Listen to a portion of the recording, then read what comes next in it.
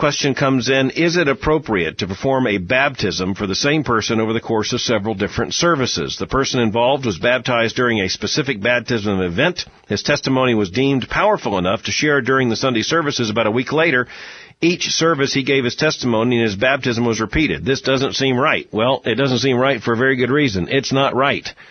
Uh, baptism is not a drama. It's not like a play that has repeat performances over and over and over again. It is an ordinance of Christ that is uh, to take place within the worshiping community, the worshiping congregation, the family of faith, and uh, we are then to testify of our baptism, but we don't repeat it over and over and over again. There are two things here I think they're very important. In the New Testament, baptism is not repeated, and the crucifixion of Christ is not repeated.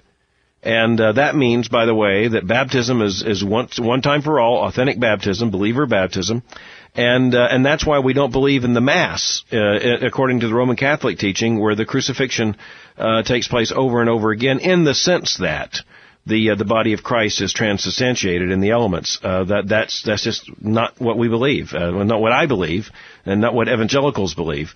And uh, so I would say no. The uh, the writer of this question is right. This just doesn't seem right. It doesn't because it's not. I can kind of understand pragmatically why a church would think, boy, this testimony was powerful, let's let everyone see this. Well, there are all kinds of things we could bring into that, but there's no reason why the testimony should not be given. But uh, it, it looks like this is turning baptism into a play, or a baptism into a drama of theater, which it is not and should not be presented to be.